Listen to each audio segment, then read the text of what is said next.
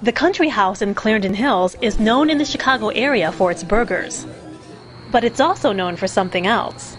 I took a ghost tour once many years ago, and one of the stops on the tour was this uh, restaurant. Shadows in the basement go by, and then you go look, and nobody's down there besides you. We've had customers that have made comments, especially about the women's bathroom. They'll be in one stall, and then they'll hear the other stall open and close, and they'll see like a shadow or something, but nobody else is in there a lot of different staff, people that have had different experiences over the years, and customers that claim they've had experiences. Because of this, the country house has become a favorite haunt, not only for customers, but for people interested in the paranormal.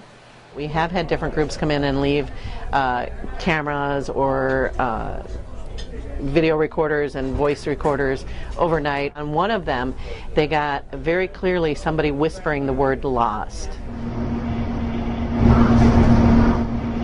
Employees say they believe they know who the ghost might be. Thanks to a couple of psychics who visited the country house after strange things started happening.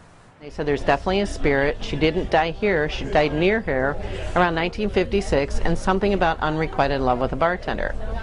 So we called the previous owner, didn't say we have a ghost, just said, Do you know anything about a woman dying near here around 1956? They were off by a year or two, but the owner remembered really well because he got sued under the dram shop laws. As the story goes, the young woman left the bar very upset after an argument with the bartender and was involved in a car crash soon afterwards. Since then, not only have people seen ghosts, but security cameras also have caught things on video investigators can't explain. And the restaurant's handyman said he saw the ghost himself one night. It started out with noises coming from the second floor, something very loud, like somebody dropping something very heavy on the floor. So I left the bathroom. And I started to go upstairs to see what that was, and the noises stopped. Frank said this happened two more times, but the noises stopped every time before he could get all the way up the stairs. I went back to work inside the bathroom, and everything was fine for a couple minutes. Then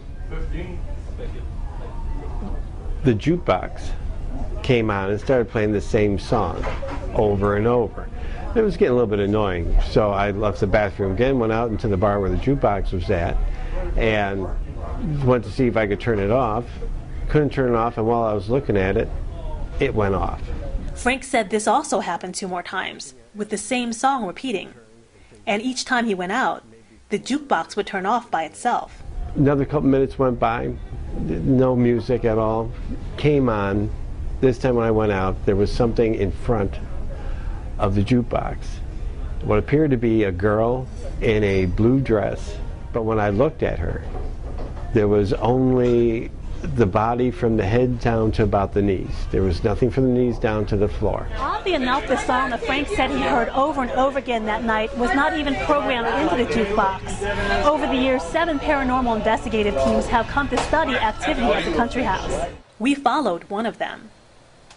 They say they were able to communicate with it by using a flashlight. Seems to respond with turning the lights on or blinking the lights to yes and no.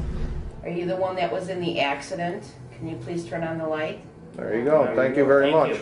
But the team did not get answers about why the ghost is there or what might make it leave.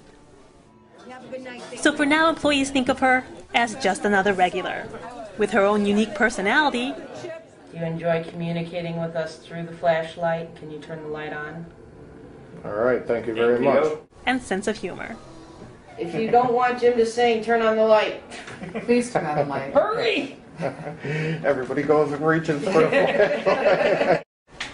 Oh, oh, hey, thank you. Tough crowd. Thank you. For Patch, I'm Sabrina Wu.